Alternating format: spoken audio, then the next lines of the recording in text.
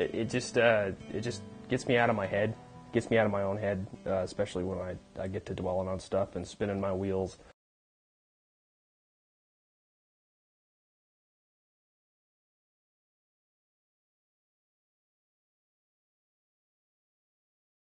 I'd still do it again, even knowing the outcome.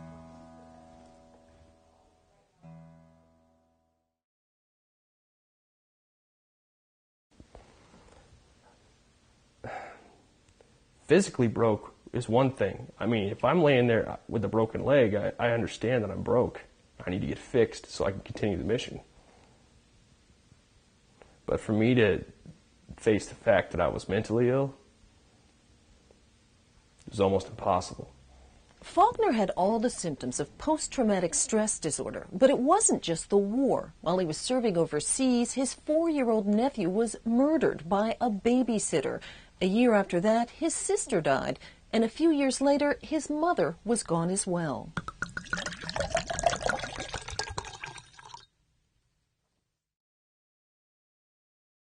I don't remember waking up. I remember walking. I remember walking, dragging all my stuff. No.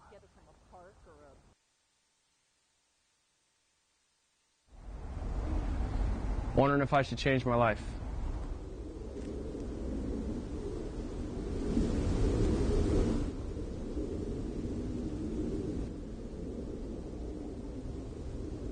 That was the first heroic, courageous thing I've done, or I had did rather in a long time, was get up off that bench and walk inside there and say, okay, I need help.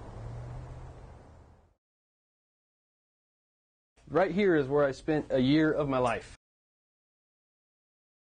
Standing back in here is like almost like making me cry.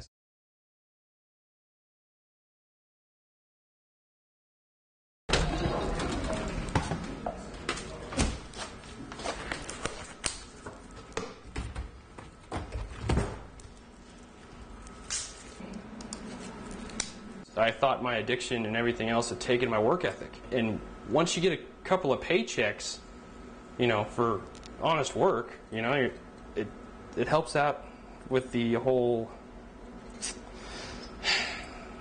you know, self worth thing.